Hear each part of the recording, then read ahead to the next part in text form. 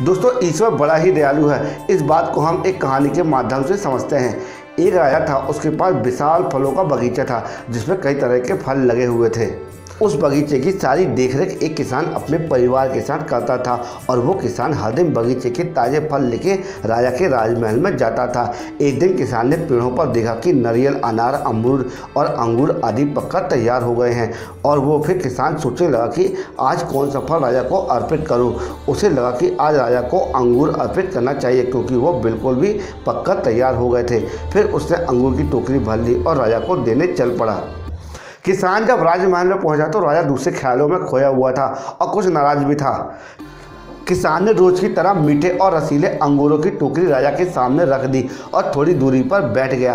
अब राजा उसी ख्यालों में टोकरी में से अंगूर उठाता, एक खाता और एक खींचर किसान के माथे पर निशाना साध कर फेंक देता। राजा का अंगूर जब भी किसान के माथे या शरीर पर लगता तो किसान कहता, ईश्वर, तू बड़ा ही दयालु है। राजा फिर ज़ोर से अंगूर फेंकता और किसान फिर कहता, ईश्वर, तू बड़ा ही दयालु है। थोड़ी देर बाद राजा अपने ख्यालों से बाहर आया तो उसे एहसास हुआ कि वो ये क्या कर रहा है। तो राजा संभल कर बैठ गया और फिर किसान से कहा, मैं तुम्हें बार बार अंगूर मार रहा हूँ। ये अंगूर तुम्हें लग भी रहे हैं, पर फिर भी तुम बार बार यही कह रहे हो कि ईश्वर बड़ा ही दयालु है। किसान ने बड़ी ही नम्रता से जवाब दिया, राजा जी, बगान में आज नारियल अनार, अमरूद और अंगूर आदि फल तैयार थे, पर मुझे भान हुआ कि क्यों ना मैं आज आपके लिए अंगूर ले चलूँ। अब लाने को तो मैं नारियल अनार और अमरूद भी ला सकता था, पर अंगूर लाया। यदि अंगूर की जगह नारियल अनार और अमरूद रखे होते तो आज आज मेरा क्या हाल होता है? इसलिए मैं बार बार कह रहा था, ईश्वर बड़ा ही दयालु है।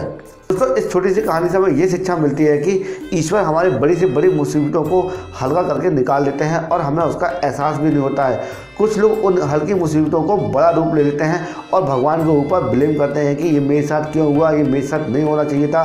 उल्टा ईश्वर का सुख अदा नहीं करते हैं और उन पर ब्लेम करते हैं, ये बहुत ही गलत बात है। अगर ये कंटेंट आपको यूजफुल लगा हो और लगाओ कुछ सीखने को मिला हो तो इस वक्त हमारे चैनल को लाइक कर देना, क्योंकि इसी तरह यूजफुल कंटेंट हम प्रतिदिन आपके लिए लाते रहते हैं। जय श्री राम।